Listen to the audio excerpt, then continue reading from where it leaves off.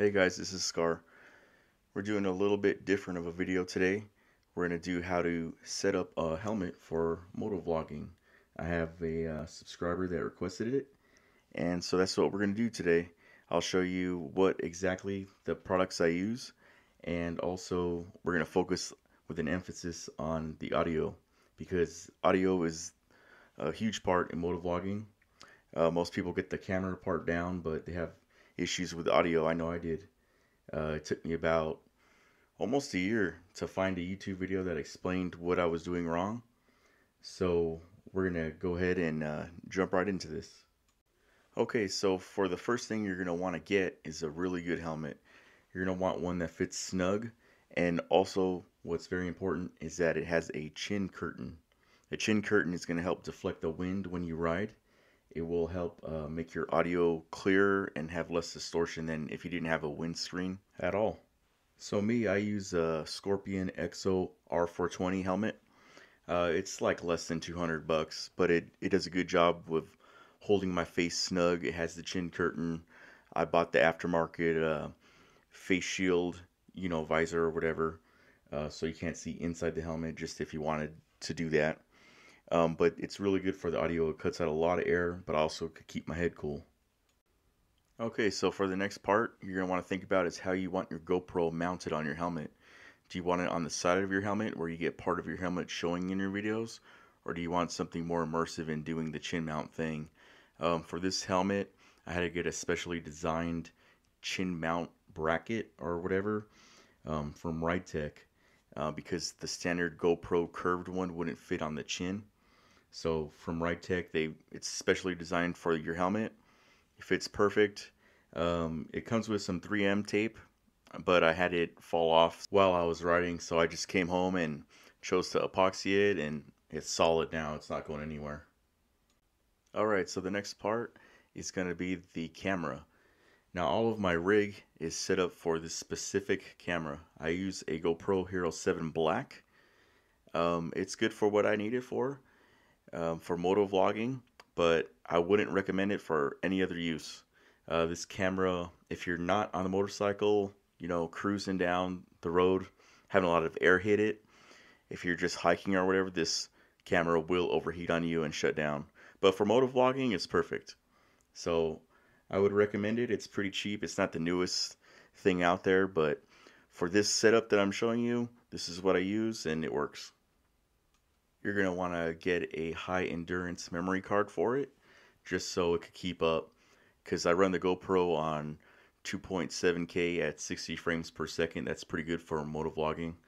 Uh, I also put it in the super view mode so you could see uh, the handlebars and all kinds of stuff like that. Okay, so the next part you're going to need is a housing for your GoPro unit. I use Ulanzi the bottom portion of the housing right there, the rectangular portion, holds a GoPro mic adapter. The GoPro will not pick up any external microphones if you do not use this specific GoPro adapter. Now the thing is really bulky. Most people just velcro it onto the sides of the helmet, but that looks kind of tacky. So I mean the thing is it's less than 20 bucks for the housing that could hold it in there. Why not get it? It makes your helmet look a lot cleaner and it's pretty good quality piece. Okay, so the next part you're going to need is that bulky GoPro adapter that I was just telling you about. I mean, look how huge that thing is. Just get the housing, put it in the housing. You'll have a cleaner looking helmet. But the thing is, there's no way to get around having this adapter after you go past a certain GoPro generation. As soon as you go past a certain GoPro generation, I think it's like the GoPro 4 or something like that, this is required for an ex- any external microphone. So it's just a money grab. It is what it is.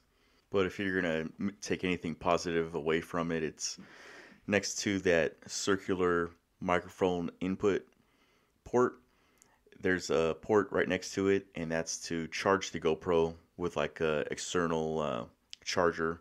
So I mean, if you're gonna get a silver lining out of spending 50 bucks for a GoPro adapter, that's about it.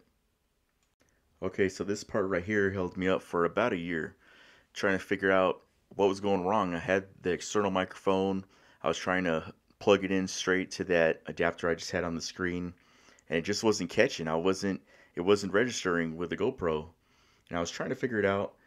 And I came across this guy's YouTube video, uh, way in the back pages of YouTube, but he explained what it is, and it turns out that GoPro adapter I just had on the screen has to have a TRS microphone input.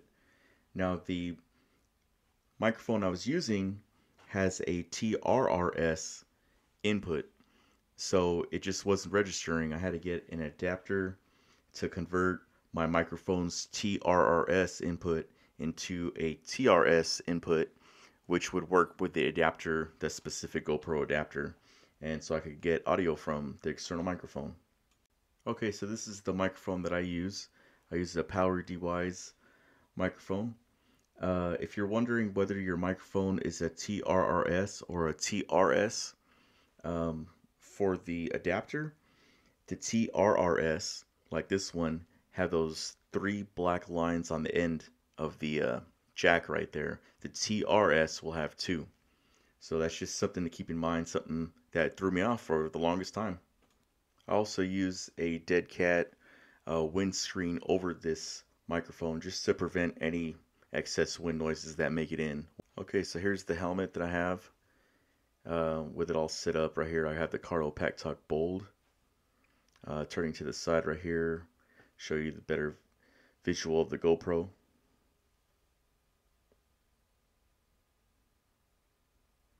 So there's the camera, there's the housing. The bottom part right there is for that adapter that the GoPro needs. And see it, it goes right into the door open door right there of the GoPro. Uh, there's a charging port for it. And right there, there's the TRS adapter. Now, right here is the chin screen, which is good. That's going to take a lot of the wind noise away.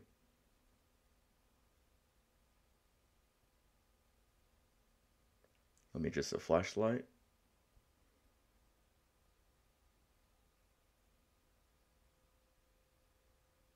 Okay, so anyway, I have that adapter